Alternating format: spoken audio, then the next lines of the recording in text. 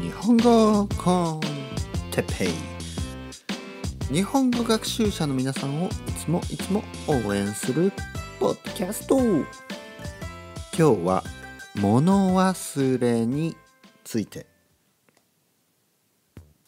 皆さんこんにちは。日本語コンテッペの時間です。今日も一日始まりました。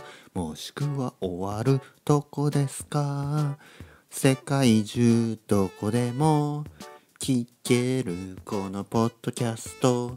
皆さん毎日聞いてね。僕は東京から。こんにちは。こんにちは。こんにちは。こんにちは。こんにちは。こんにちは。こんにちはって言いますよ。皆さんからのコメントポッドキャストへのコメント Facebook や YouTube でいつもありがとうございます。はいこんにちは。日本コンテンペンの時間ですね。今日もよろしくお願いします。えー、YouTube って言いましたね。あのこれはあの動画ではないです、ね、動画ではなくて YouTube にあのポッドキャストをねそのまま載せてます。でまあ YouTube でポッドキャストを聞いてくれてる人もいるっていうことですね。そしてあのコメントをねくれる人がいます。なのでありがとうございます。という話ですね。えー、皆さん元気ですか？皆さん元気ですか、ね、今日も元気に生きてますか。ね死んでないですよね。死んでたらこれ聞けないですからね。あの健康第一に長生きしてくださいねみんな。うん。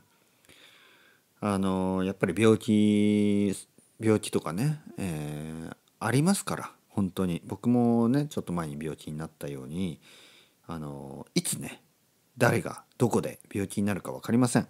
ね。あと病気もあればこう事故とかね。最近ですね日本であの、まあ、いわゆる交通事故交通事故車とかね、まあ、主に車ですけど車での交通事故がちょっとあの社会問題になってますね。でなぜかというとまあご存知の方、ね、知ってる人もいるかもしれないですけどあの、まあ、日本に住んでいる人はねあの交通事故のあの高齢者ドライバー高齢者というのはまあ言ってみればおじいちゃんおばあちゃんですね。えー、かなり年のしかもね後期高齢者っていうのかな？あの80歳とかそういう人が運転をして事故を起こしているパターンがあ結構あるということですね。まあ、そういう例が、ね、パターンというのはこの場合はあのケースとか、ね、そういう意味です。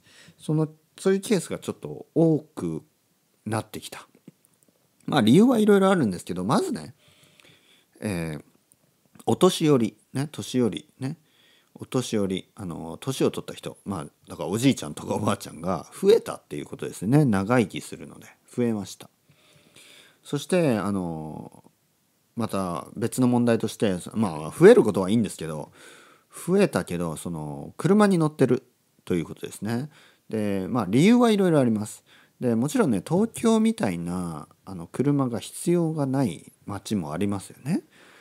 東京でもいろいろありますけど東京のね例えば、まあ、23区。ね例えばじゃああのまあ下北沢でいいですよ。その辺に住んでいればあの全然車は必要ないです。ね必要ないです。でもでもね田舎ですよね田舎。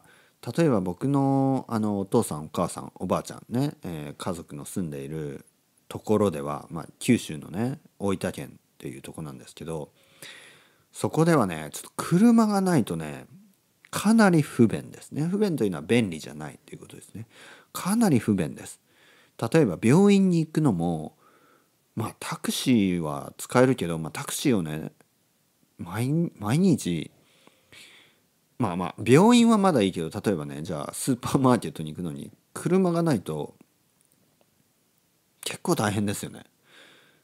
まあいろいろ理由はあります。まあ、まずあの一番うちの家から一番小さいあ一番近いスーパーまでまあ1キロぐらいあるんですよ。まあでも1キロですよ。1キロ。ね。でもねやっぱりね1キロその重い荷物を持って歩けないですよね。おばあちゃんが。えー、まあうちのおばあちゃんは運転しないですけどもともと。でもあの他のねおばあちゃんね他のうち僕のおばあちゃんじゃなくて他のおばあちゃんたちねおじいちゃんでもいいです。おじいちゃんおばあちゃんがあのなんか重い荷物を持って歩けないですよね。で皆さん言うんですね。じゃあネット通販やればみたいなね。インターネットでネットスーパーで買えばネットスーパーなんて使えるわけがないというのもあれだけど難しいですよやっぱりね。ネットでアマゾンとかね。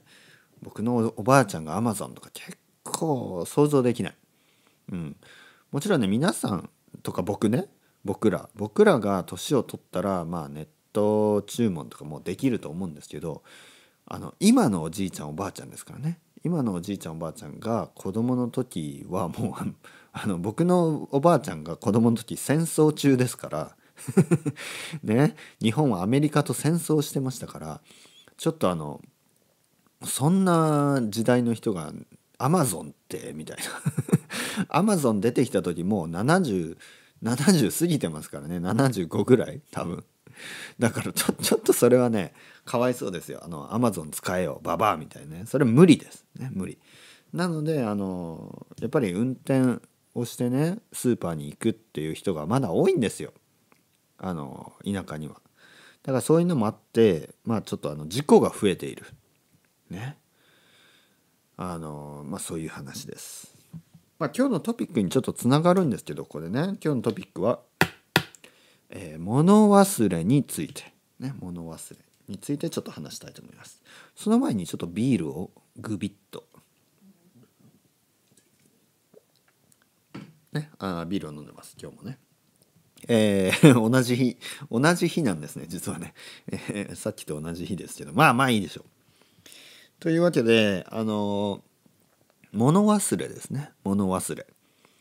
物忘れというのは物を忘れる。まあとにかく忘れるということです。何か忘れる、えー、もちろんね年を取るとあ誰しもが少しずつね物忘れが激しくなります、ね、物忘れが激しくなるって言いますね。例えばねスーパーに行ってあれ？何買いに来たんだっけ？みたいな。ねそういうことってあの年の人だけじゃなくてあのありますよね。実際僕も本当に最近最近とかまあ昔からですけど本当忘れることが多くなってなんかあの例えばねドラッグストアに行かなきゃと思いますよね。あドラッグストアに行かなきゃいけない。でドラッグストアに行ってで気が付くんです。あれ？何しに来たんだっけ？あれ？何買いに来たんだっけ？っていうふうに思うんですよね。そして あれ？何しに来たんだっけ？と思ってまあ忘れたまままあいっかと思ってじゃああの家に帰りますよね。そして家に帰ったら気づくみたいな。あああれだみたいな。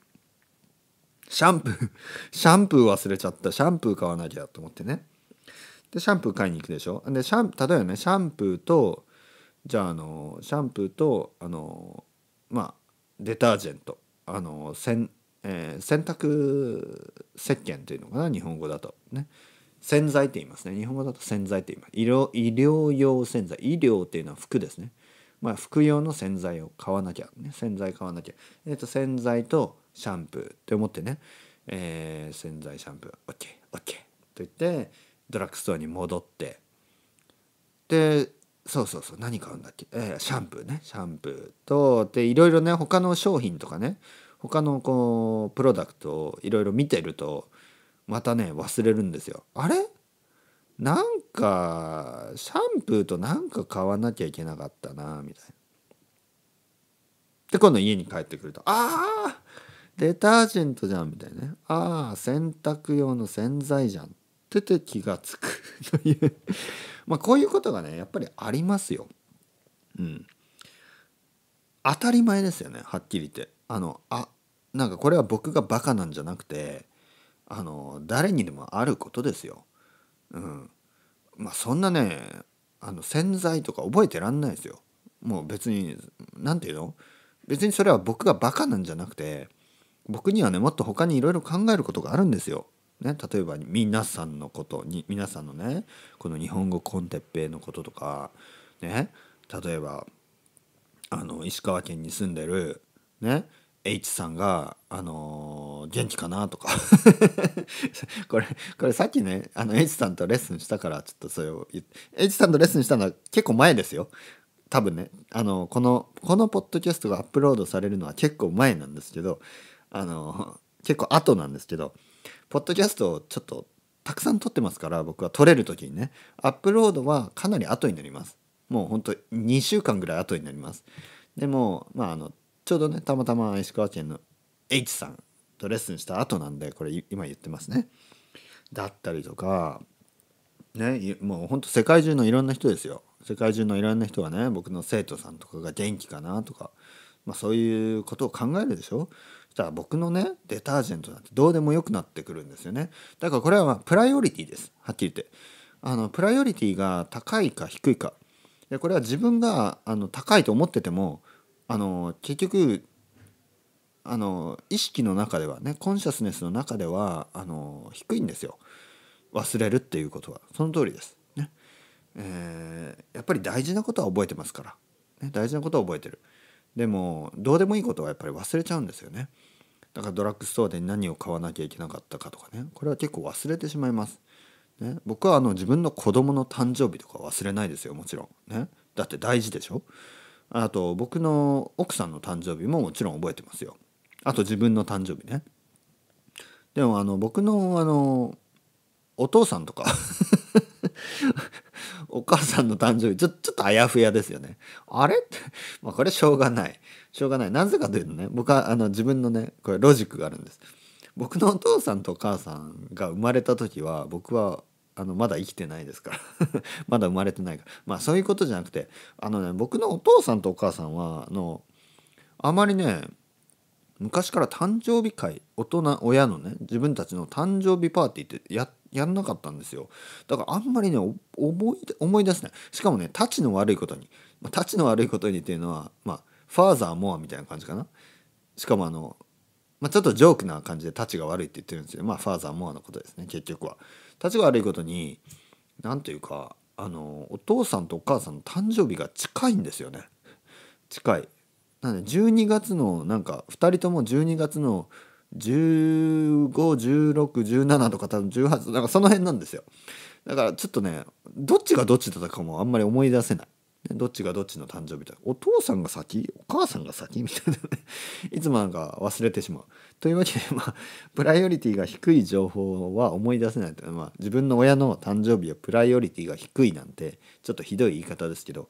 まあ実際そういうもんで僕の子供のね誕生日の方がやっぱりプライオリティが高いし、まあ、最近子供が生まれたの3年か4年前なんであのまだ覚えてるっていうことでもあるんですけどね、まあ、とにかくとにかくあの物忘れは誰しもがね誰もが当たり前にすることです。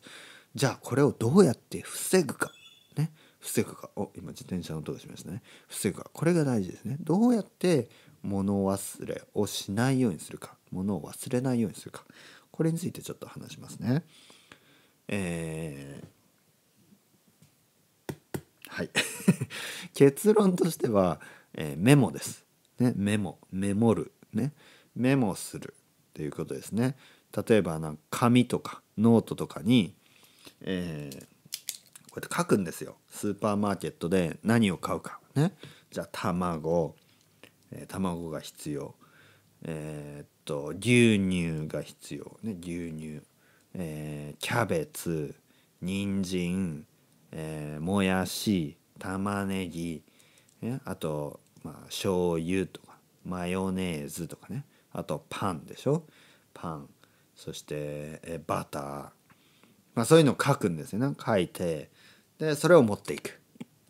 でよくあるパターンとして、ね、よくあるケースね。さっき言ったこのパターンはケースってことですね。よくあるパターンとしてその書いた紙を忘れる。これ本当によくあるパターンですね。ね 書いた書いた紙だそのショッピングリストをね書いた紙を忘れる。これ本当によくあるパターンでもうそしたらもうどうしようもないですね。あれ何？必要なんだっていうの。だからもうこれこれはしょうがない。これはこれをバカと言います。ねこれはバカですね。